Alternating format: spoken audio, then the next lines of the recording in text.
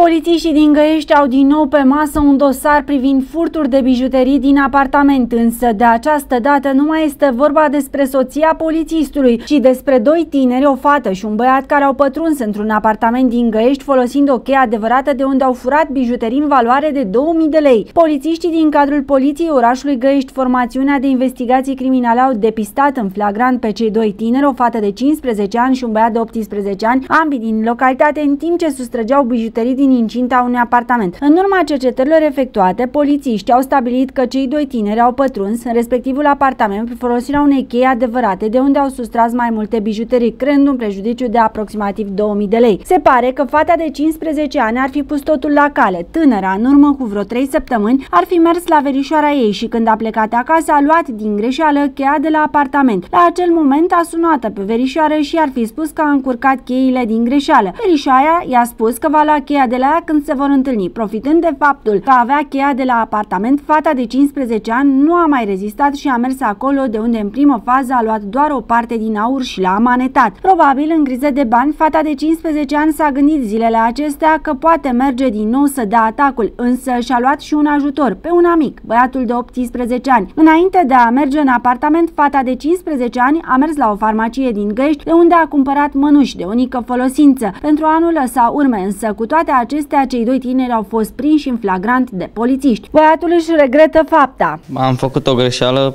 pe care o regret și îmi pare foarte rău pentru ceea ce am făcut. Ce ai făcut? Am intrat în casă la cineva. Vina nu a fost în totalitatea mea. Îmi pare rău. Ai fost cu cineva, cu prietena? Cu o amică. Ce ați ce ați vrut să luați din casă sau ce ați luat? Bijuterii.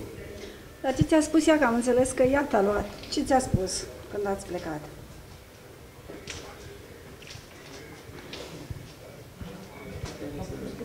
Îți pare rău Îmi pare foarte rău. Ce făceați cu bani? Sau ce avea ea în cap să facă cu bani? Nu știu.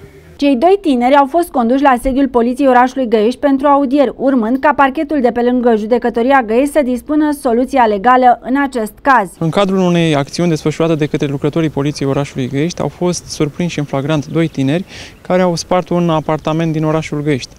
La această oră se efectuează cercetări față de aceștia, urmând ca la finalizare să propunem soluție prin parchet. Ce au, ce au sustras? Aceștia au sustras bijuterii din aur. Au fost recuperate bani? Au fost recuperate în totalitate, restituite părților vătămate. Fata de 15 ani este elevă la liceul numărul 1 din Găiești, iar băiatul la grupul școlar agricol, dr. Cea Angelescu din Găiești.